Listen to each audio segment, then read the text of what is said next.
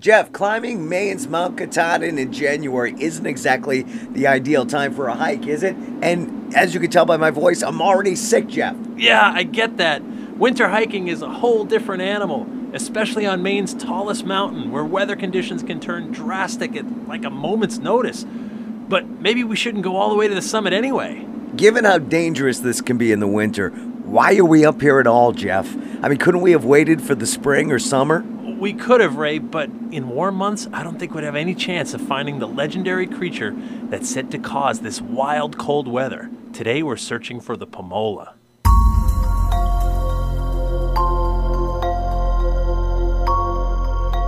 Hey, I'm Jeff Belanger, and welcome to episode 72 of the New England Legends podcast. And I'm Ray Auger.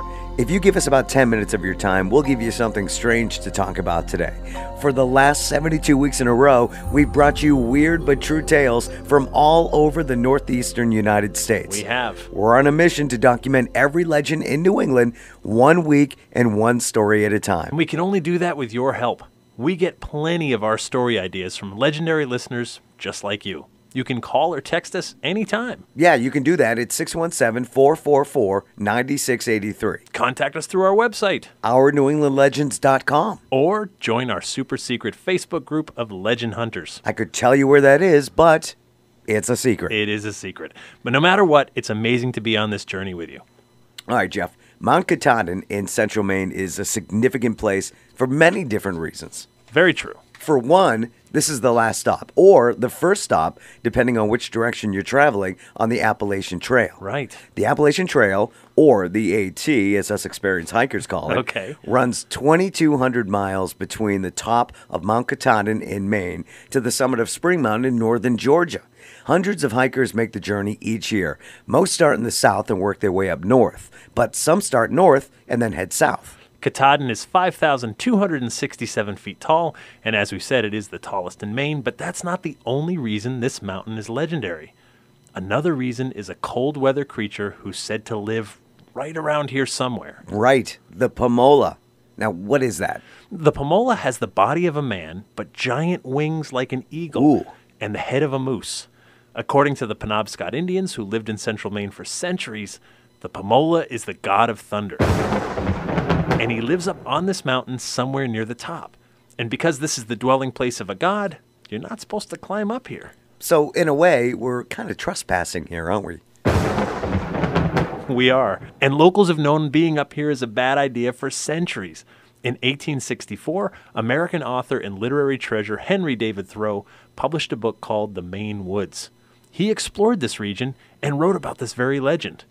Thoreau said, The tops of mountains are among the unfinished parts of the globe. Whether it is a slight insult to the gods to climb and pry into their secrets and try their effect on our humanity, only daring and insolent men perchance go there. Simple races, as savages, do not climb mountains. Their tops are sacred and mysterious tracks never visited by them. Pamola is always angry with those who climb to the summit of Katahdin. So, that's why we should avoid the summit? I'm not sure that will completely save us, but I am curious how far back this legend goes.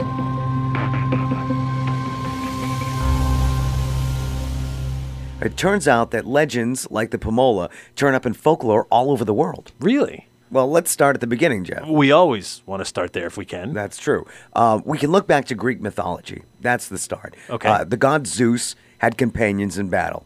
One of those was a group of siblings who were described as half human, half birds. The most famous being the goddess Nike. Nike, like the sneaker company? The very same. She's the goddess of victory. Okay, that makes sense. And the idea also makes me think of Judeo Christian imagery. I mean, the cherubim and seraphim were described as angelic beings with wings. In the Hebrew Bible, the book of Isaiah, chapter 6, verses 1 through 3, describes the creature. I saw also the Lord sitting upon a throne, high and lifted up, and his train filled the temple. Above it stood the seraphims. Each one had six wings. With twain he covered his face, and with twain he covered his feet, and with twain he did fly. When you think of old biblical paintings, angels always have wings, though the Bible never actually says angels have wings. It describes angels as flying, but doesn't specifically mention the wings, not unless we're talking about cherubim and seraphim. So we fast forward to Native American legends, and we hear old stories of the Thunderbird. The Thunderbird is slightly different from the Pamola, though. Okay. For example, in the American Southwest, the Thunderbird is the size of a man with a giant wingspan, but the head is more bird like, not moose like. Huh. In other variations, the head is that of a man, but the name Thunderbird comes from the sound this creature makes when it flaps its wings. That's right, the wings are so mighty, their flapping makes the sound of thunder. And while all this might sound like some fun legend, keep in mind that the United States Air Force has an elite demonstration squadron that flies at air shows all over the world. These pilots fly F 16s in tight formation and perform acrobatics in front of huge audiences.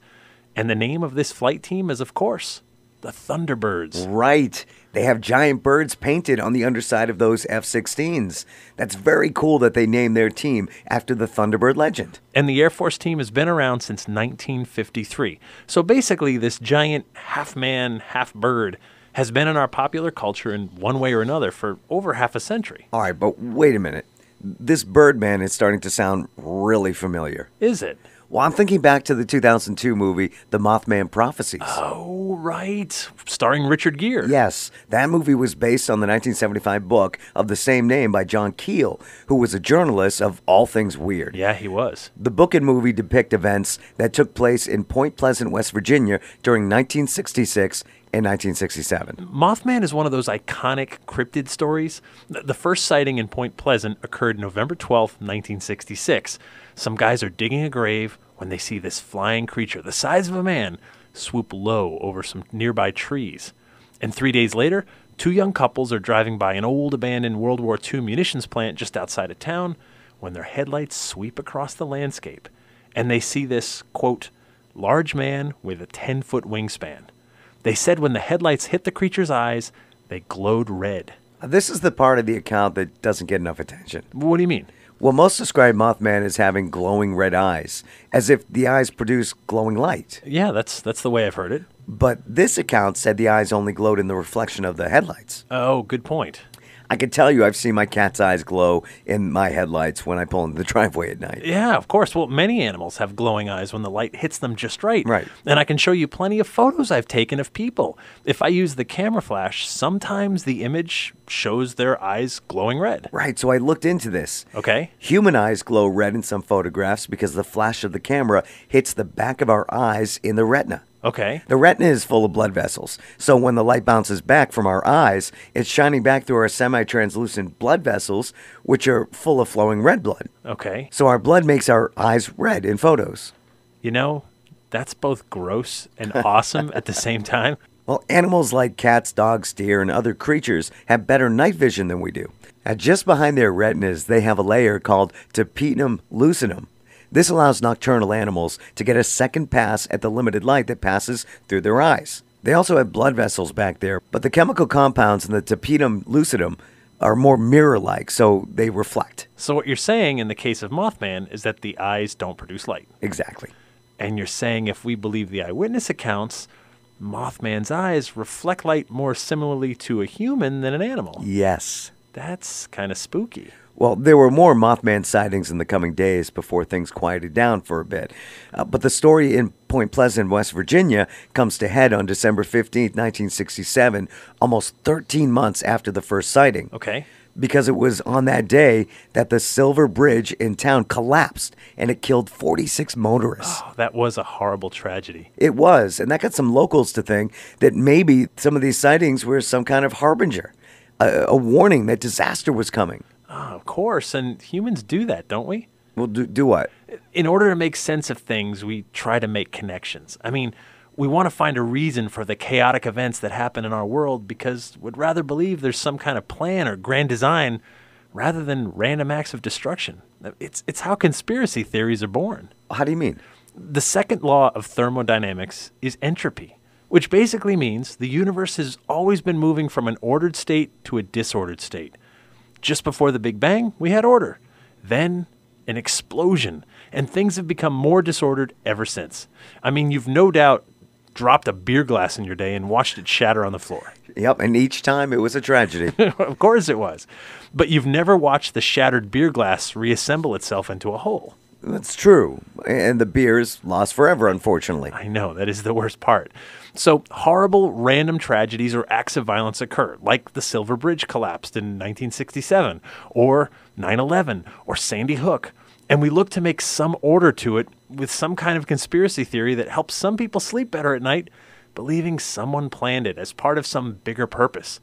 But that doesn't change the tragedies in any way. So Mothman may not have anything to do with the Silver Bridge collapse. Exactly. Just two separate events linked by proximity.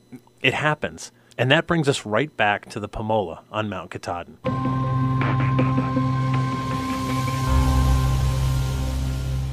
Here on Mount Katahdin, the weather can change fast. The wind can whip, the cold can bite, rain and blizzard conditions can move in faster than you can hike to safety. Chaos. Right. And we need something to blame, right? So we blame the Pamola. And what's wild is that the Pamola is, by all descriptions, a thunderbird, just like Mothman. But it's got a local twist. You mean the head of a moose? Right. Maybe no one gets a clear look at the creature, and it's easier for people in Maine to assume it's more moose like than man like. So you think there's anything to this Pamola legend? Is there really something hunting people who dare to climb Mount Katahdin? Here's the thing, Ray. Since 1926, there have been 22 deaths in this area around Mount Katahdin. And we know there were deaths before 1926. We just don't have the meticulous records we've had since Baxter State Park opened here in 1931. Most people have died from some mishap on the trails, and usually from hypothermia. Some of these people were experienced hikers, too. So, do we blame the circumstances or the Pamola? I guess we'll never know. I mean, we can't interview the dead. I'm thinking that maybe it's time we head back down and get off Mount Katahdin.